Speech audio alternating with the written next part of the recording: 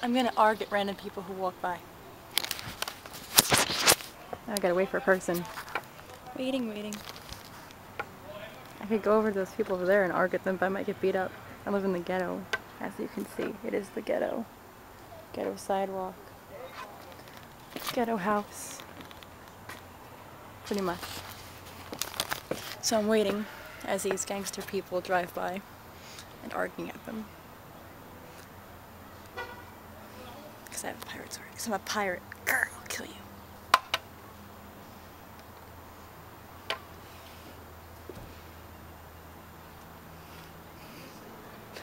Nobody's coming. See, before a lot of people were coming, now nobody's coming. Here someone comes.